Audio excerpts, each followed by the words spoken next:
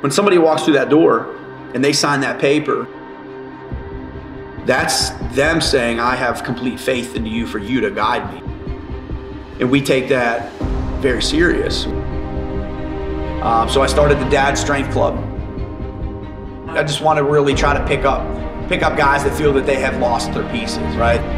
Nothing really left to give. They think being 30s old, you know, they've gained 20 pounds and they're like so out of shape that they don't even know where to start. I have three different phases that a, that a, a dad could fall into based off an assessment that I give them. And that phase will put them exactly where they need to go to start so they do not get injured. You know, I have stuff at home and I don't know where to begin. Every time I work out, something happens where, you know, I lose interest. They lose interest because they don't know where to go next. And I take care of that for them.